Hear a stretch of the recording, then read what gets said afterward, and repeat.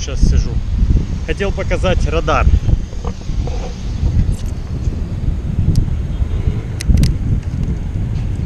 Это он так крашен, бляха-муха. Это не страшно. Вот, кстати, лампочка, она разбилась. Стекло надо будет поменять. И вот еще одна лампочка, которая вылетела, я ее тоже буду менять. Вот так как сейчас все выглядит.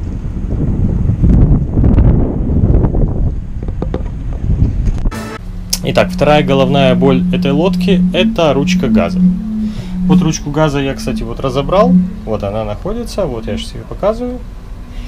Э, что у нас здесь имеется? То есть проблема, собственно, в следующем. Ручка газа электронная. Ну, то, что оно вот выглядит вот так вот, я вообще молчу. То есть оно все облезло. Странно, вообще хром, он достаточно нормально, если сделан. Он нигде не облазит. Но проблема в чем? Э, вся ручка газа это вот. То есть это компьютер, который управляет двигателем, он передает сигналы на двигатель. Вот это вот бесконтактный реостат, который определяет положение ручки газа. Вот, вот такое вот колесико. Вот эта ручка газа крутится и э, определяет положение заслонки. Вот эти вот провода, они, они все вот сдохли. Я думаю, я думаю, что в них, собственно, и заключается эта проблема. Вот сейчас я их перепаяю, потому что я уже устал мне уже надоело, когда мне эта ручка газа морочит голову. Еще одна задача, которая у нас на лодке, это ремонт автопилота. То есть вот это находится двигатель, который крутится и создает давление внутри вот этой гидравлического контура. А, что у нас получилось? Вот здесь вот есть такие вот в этих вот местах графитовые стержни. Графитовые стержни уже померли, поэтому нужно их заменить. Может быть что-то еще в самом контуре, потому что давление, которое отсюда идет, идет по этим трубам и создает давление внутри э, самого автопилота, который толкает толкает радар вперед-назад, то есть поворачиваем порт, старборд. То есть нужно будет починить вот это и заодно проверить весь контур. В принципе, задача несложная, я надеюсь. А вот у нас сделали паруса вот эти паруса вот прошиты все нитками нормальными, специальными. Вот они все идут, вот. Мне сказали, что все паруса прошили полностью, потому все швы были надорваны и правильно не работали. Вот Lazy Bag, который я заказывал. Это грот. Все паруса ремонтировали. Как мы будем ставить Lazy Jack. Это самое первое перед установкой парусов. Вот на гике есть ликпас.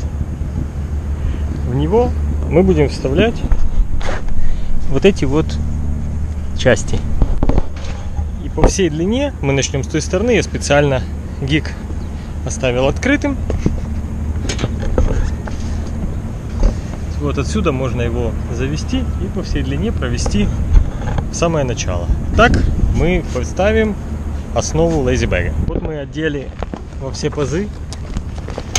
Вот так выглядит лейзибэг изнутри. Так он выглядит снаружи, но до этого еще есть немножко времени. После того, как мы его одели, я буду одевать грот. Я его выложу сверху на парус и буду его вставлять в пазы, которые нужны.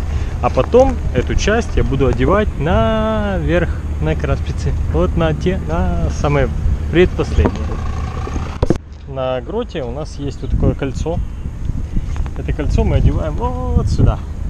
Это защита, если оторвется аутхол, чтобы ничего не порвало, ничего не разломало. Итак, парус там закреплен. Тут одет через карабин.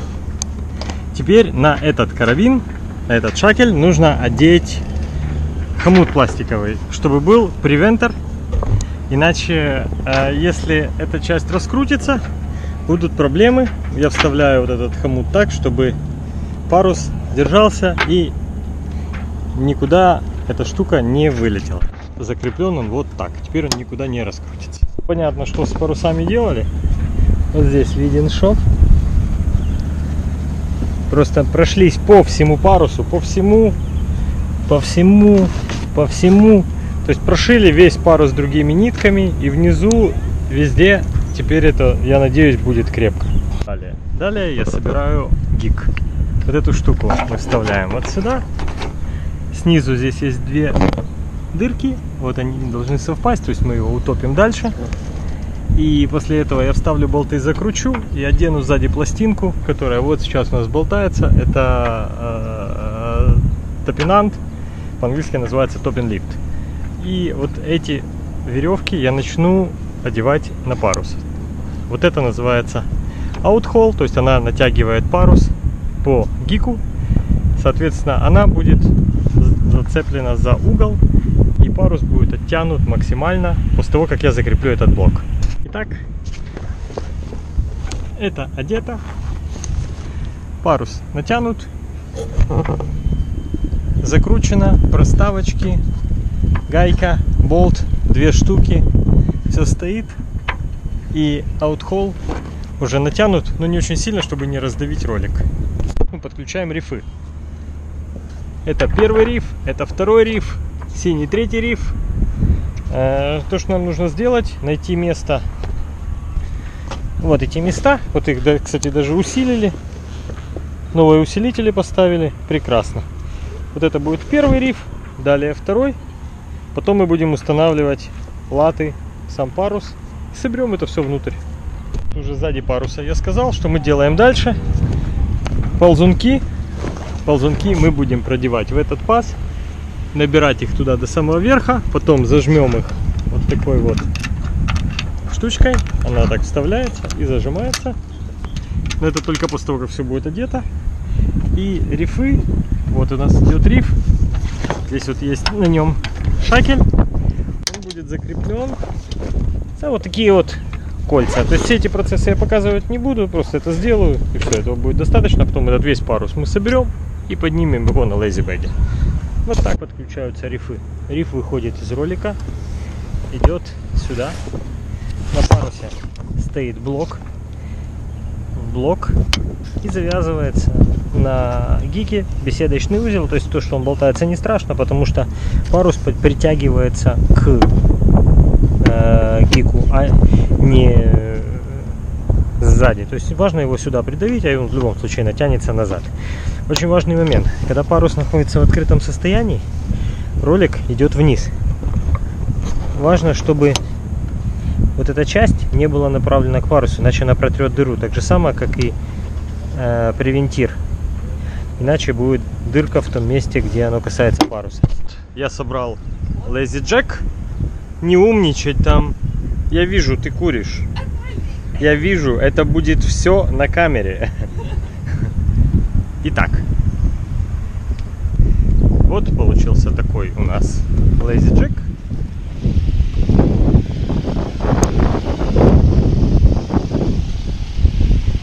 как я и говорил, мы его собрали из того прикольного, прикольного, то, что получилось.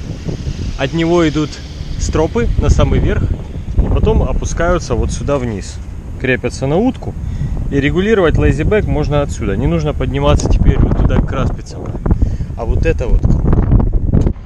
Вот теперь мы одели парус, подняли его. Вот теперь он у нас синий, такой красивый мы поставили новую защиту и прошили все-все швы. То есть сейчас у нас парус сделан, плюс еще здесь у нас есть булень, который снизу имеет стопор наружный, а раньше он был внутри. Нас лодка будет с синими парусами, мы пошьем синий абимини и будет крутяк.